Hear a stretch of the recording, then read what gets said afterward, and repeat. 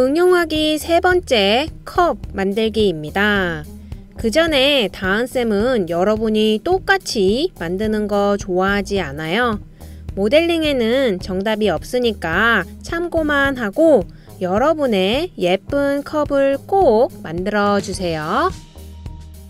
미니컵을 만들어 보도록 하겠습니다. 컵의 외형은요, 이 포물면을 이용해서 만들었는데요. 위에 뾰족한 부분은 잘라주겠습니다. 그룹. 그 다음에 컵의 사이즈는 여러분이 원하는 사이즈면 되겠는데, 음, 저는 이 정도면 충분히 될 것 같네요. 높이도 조금 올려주고요. 회전해서 세우면 아래는 좁지만 위에 조금 넓어지는 컵의 외형이 만들어졌습니다. 그리고 이 컵 앞에 메시지를 넣고 싶거나 아니면 여러분이 원하는 글자로 데코레이션 하면 되는데요.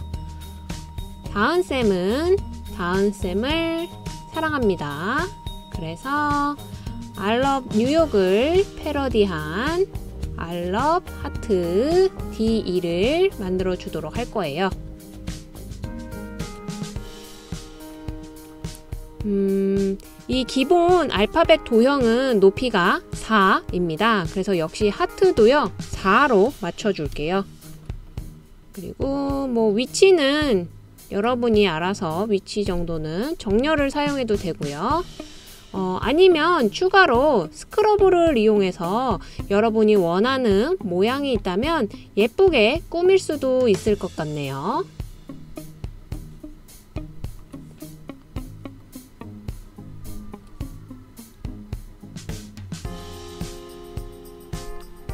근데 역시 높이는 똑같이 4로 맞춰줄게요. 그리고 하나를 복사 붙여넣기를 해서 밑에도 뒤집어서 하나 더 넣어야지. 자, 꾸미는 건 여러분 마음대로니까. 자, 그 다음에요. 이거를 하나의 어, 도형을 그룹을 짓겠습니다. 하나의 덩어리로 그룹을 먼저 짓도록 하겠습니다. 그리고 얘를 이제 두께를 조금 준 다음에요. 이 컵의 위치로 위치를 돌려서 갖다 놓겠습니다. 네, 글자가 튀어나와야 되니까 네, 글자가 조금 크네요. 크기를 줄이겠습니다. Shift 키를 같이 누르고 줄여야 1대1 비율을 유지하면서 줄어드는 거 알고 있죠?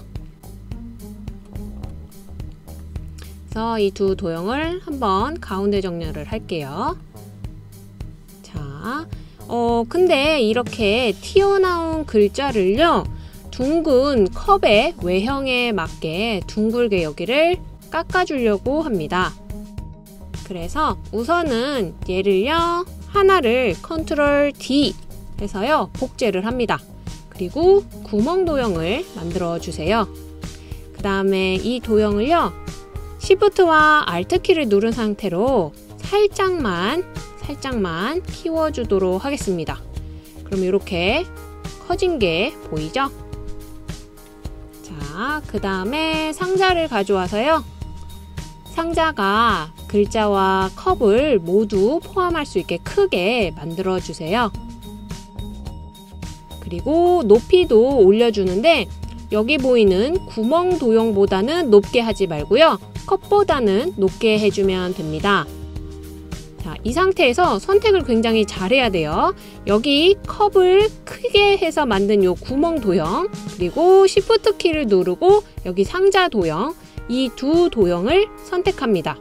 그리고 나서 그룹을 만들게 되면요. 이 도형 제가 투명하게 한번 볼게요. 자, 보이시나요? 이렇게 도형이 생겼습니다.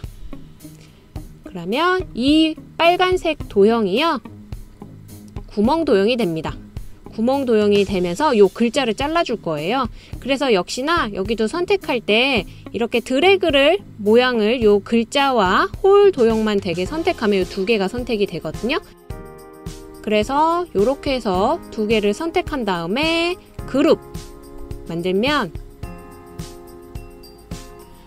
컵의 굴곡에 맞게 둥글게 깎인 모양이 됐습니다. 예쁘네요. 자, 그 다음에 컵의 안쪽을 파기 위해서요. 다시 컨트롤 D를 합니다. 그리고 역시나 Shift와 Alt 키를 누른 상태에서요. 이번엔 크기를요. 줄여주겠습니다. 안쪽을 작게 팔 거니까. 구멍 도형을 만든 다음에요. 네, 안쪽을 조금 작게 파고 얘를 이렇게 위에 눈에 보이게 구멍을 뻥 뚫게 컵이 뚫려야 되잖아요. 네, 요렇게. 자, 됐습니다. 그 다음에 여기서 먼저 그룹을 하지 말고요. 컵에 손잡이를 가지고 온 다음에 한꺼번에 그룹을 하도록 하겠습니다. 토러스를 가지고 와서 도형을 이동시켜서 자 이렇게 만들어주면 정렬을 한번 요 컵과 토러스 손잡이를 정렬을 한번 할게요. 정렬할 때는 정렬 기준을 이 컵으로 잡고 그러면 토러스만 움직이니까. 자 이렇게 하면 음, 조금 더 위에 올라가도 될 것 같은데 저는. 뭐 모양은. 여러분 마음이니까. 자 이렇게 하도록 하겠습니다. 자, 그 다음에 전체를 선택을 해서 그룹을 만들게 되면 안쪽이 파지면서 이게 그룹을 아까 한 게 아니라 지금 한 이유는요. 그래야 여기 보이는 토로스가 같이 함께 잘려서 없어지기 때문이에요. 그룹을 나중에 했습니다. 자, 이렇게 예쁜 미니컵을 만들게 됐습니다. 여러분의 컵은 어떻게 생겼나요? 자, 이 미니컵 같은 경우에도요, 3D 프린팅을 할 때는요, 요 손잡이 부분이 무너질 수 있기 때문에 support를 설정하고 출력하면 됩니다.